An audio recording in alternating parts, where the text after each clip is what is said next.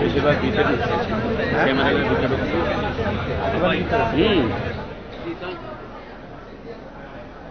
বেগম জিয়ার চারপাশে আমরা দেখতে পাচ্ছি তার নিজস্ব নিরাপত্তা বাহিনীর এই সরকার সরকার এই সরকার অগণতান্ত্রিক সরকারি সরকার এই সরকারের ক্ষমতায় থাকা এই সরকার যদি লজ্জা থাকে ক্ষমতা থেকে thank you madam thank you madam